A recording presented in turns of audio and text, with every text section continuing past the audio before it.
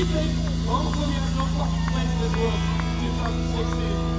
Love is love, regardless of race, gender, or what the fuck.